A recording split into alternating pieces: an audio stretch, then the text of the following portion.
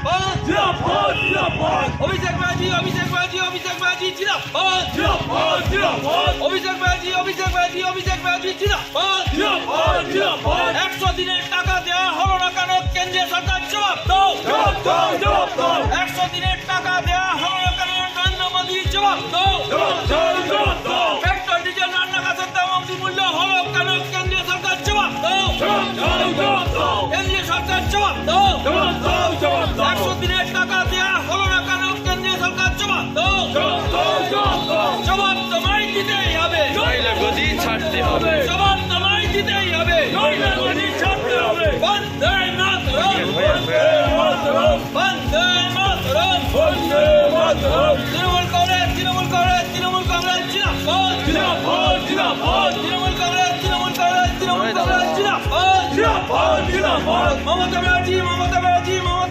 জিন্দাবাদ জিন্দাবাদ জিন্দাবাদ অভিষেক ব্যানার্জি অভিষেক ব্যানার্জি অভিষেক ব্যানার্জি জিন্দাবাদ জিন্দাবাদ জিন্দাবাদ বন্দে মাতরম বন্দে মাতরম একশো দিনের টাকা দেওয়া হচ্ছে না কেন? কেন্দ্রীয় সরকার জবাব দাও জবাব চাই জবাব দাও একশো দিনের টাকা দেওয়া হচ্ছে না কেন? নরেন্দ্র মোদী জবাব দাও জবাব চাই জবাব দাও জবাব তোমায় দিতেই হবে। ছাড়তে হবে। লাগান ছাড়া মূল্যবৃদ্ধি হচ্ছে কেন? কেন্দ্রীয় সরকার জবাব দাও জবাব চাই। জবাব দাও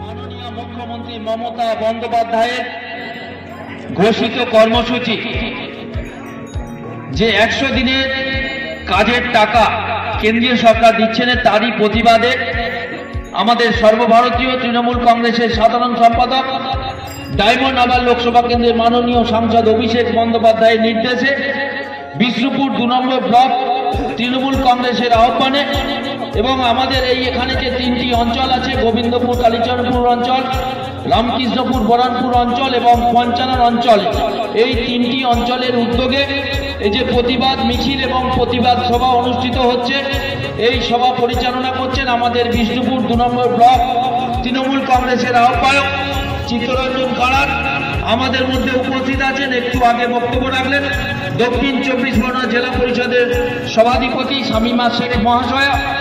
আমাদের মধ্যে উপস্থিত হয়েছেন আমাদের সাতগাছিয়া বিধানসভার মাননীয় বিধায়ক মোহনচন্দ্র নস্কর মহাশয়। উপস্থিত আছেন বিষ্ণুপুর টু পঞ্চায়েত সমিতির সভাপতি সমাজশ্রী ভেতাল মহাশয়া উপস্থিত আছেন দক্ষিণ চব্বিশ পরগনা জেলা পরিষদের সদস্য জ্ঞানানন্দ সামন্ত, আর এক সদস্য মিঠুরানী সাহা। উপস্থিত আছেন আমাদের ব্লকের সংখ্যালঘু সেলের সভাপতি মফিউদ্দিন শেখ, আইএনটিউটিসি সভাপতি ব্লকের মজরু শেখ, আমাদের জহিন বাহিনীর সভাপতি বিকাশ জানা থেকে শুরু করে আমাদের এই যে তিনটি অঞ্চলে, অঞ্চলের সভাপতি আছে, আমাদের চিত্তরঞ্জন প্রামাণিক আছে, বিশ্বনাথ দা আছে এবং ইলিয়াস দা কনভেনার আছে। তিনটি অঞ্চলে যিনি প্রধান আমাদের মানস দা আছে, সুপ্রিয়া মাঝি আছে এবং শান্তিময় হাজারি সহ এখানে সজলদা থেকে শুরু করে আমাদের বর্ষিয়ান তৃণমূল কংগ্রেস নেতা, আমাদের শ্যামল দাস আছে, আমাদের কর্মাধ্যক্ষ শুভেন্দু শেখর বিজলি থেকে শুরু করে চণ্ডী অঞ্চলের প্রধান হাবিবা, বিবি এবং প্রধান আমাদের কালামদা আছে।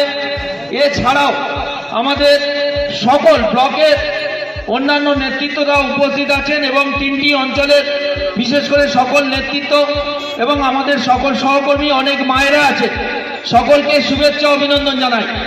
আজকের এই যে প্রতিবাদ মিছিল এবং প্রতিবাদ সভা আমাদের নেত্রী ডাক দিয়েছেন যে একশো দিনের টাকা কেন্দ্রীয় সরকার দিচ্ছে না।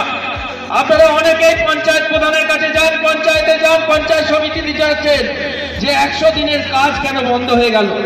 বিশেষ করে আমাদের গ্রামাঞ্চল, একশো দিনের বহু গরিব মানুষ, খেটে খাওয়া মানুষ একশো দিনের কাজ করে। সেই একশো দিনের কাজের টাকা কেন্দ্রীয় সরকার বন্ধ করে দিয়েছে। তারই প্রতিবাদে আমাদের এই এই আজকের প্রতিবাদ, মিছিল এবং প্রতিবাদ সভা।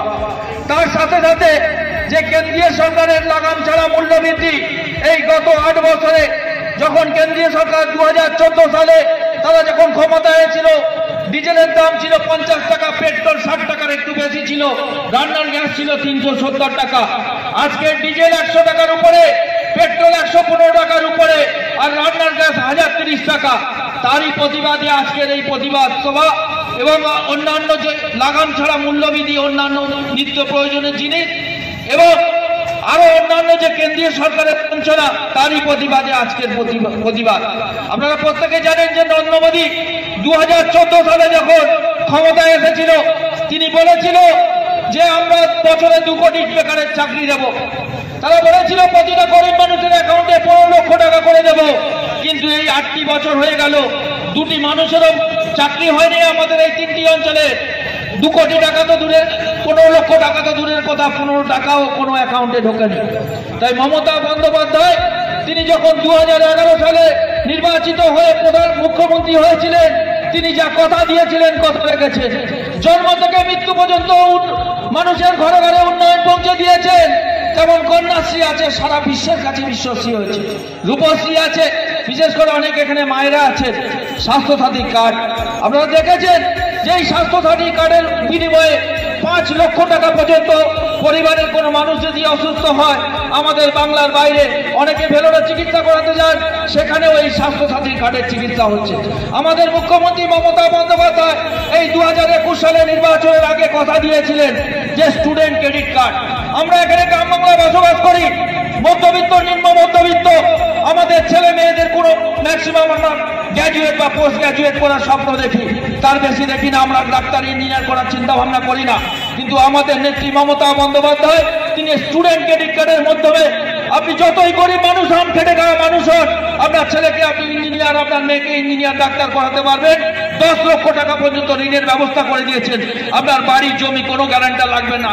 গ্যারান্টার পশ্চিমবঙ্গ সরকার মমতা বন্দ্যোপাধ্যায়। এটাই মমতা বন্দ্যোপাধ্যায়, তিনি ঘোষণা করেছিলেন দুয়ারে রেশন দু হাজার একুশ সালে নির্বাচনের আগে এখন পাড়ায় পাড়ায় গিয়ে দেখছেন রেশন বাড়ি বাড়ি পৌঁছে যাচ্ছে। তিনি যা কথা দিয়েছিলেন, তিনি কথা রেখেছেন। আর কেন্দ্রীয় সরকার শুধু ভাওতা দিয়ে যাচ্ছে। তাই তো বলি মমতা বন্দ্যোপাধ্যায়ের একদিকে যেমন উন্নয়ন, আর আমাদের ডায়মন্ড আবার লোকসভা কেন্দ্রের মাননীয় সাংসদ অভিষেক বন্দ্যোপাধ্যায়, হাজার হাজার কোটি টাকা তিনি উন্নয়ন করছেন আমাদের এই ডায়মন্ড আবার লোকসভা কেন্দ্রে।